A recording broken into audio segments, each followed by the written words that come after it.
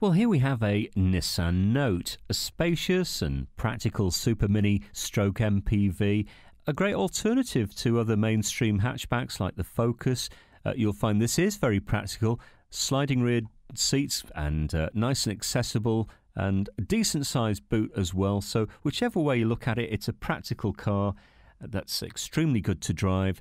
It's going to give you worry free motoring as well, probably returning about 67 mpg combined, maybe mid 70s even on a long run if you're taking it easy and uh, if you're not fully laden with luggage and things like that.